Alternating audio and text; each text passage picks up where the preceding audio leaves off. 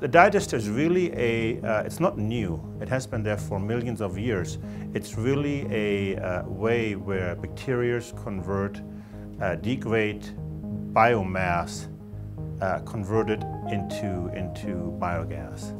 So every day we feed and we take out. Every day we feed, so it's a semi-batch process because it continues flow. And then we have hoses on here, we have gas meters, so we actually measure what's the methane volume and what is the BTU content of this methane. So what's the methane content? So we underfeed, we overfeed, we, uh, we want to know exactly how far can we push the biological system. And this is what, we, what you do here. So it's much easier to clean out and start over a 25 gallon digester than a big digester.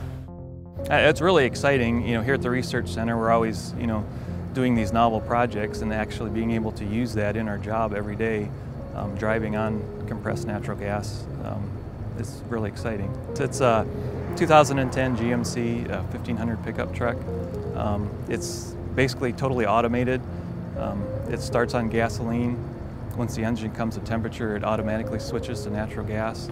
I've been very pleased with the, the way the vehicle performs and uh, have actually considered on my own personal vehicle um, converting to um, compressed natural gas. I've been so happy with the performance.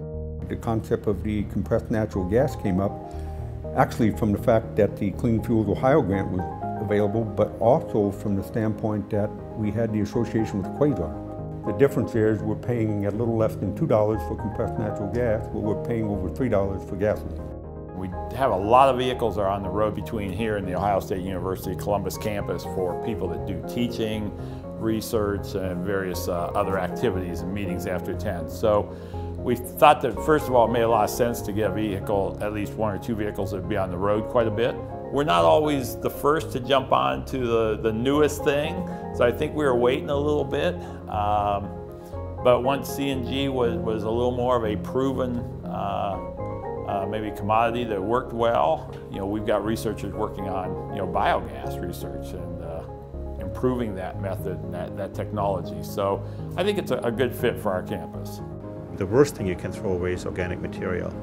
And uh, that usually lands in a landfill or it goes to a wastewater treatment plant where you, uh, at a wastewater treatment plant, uh, incineration is pretty big in Ohio, what means where you buy energy to destroy energy. I mean, that's the worst you can do.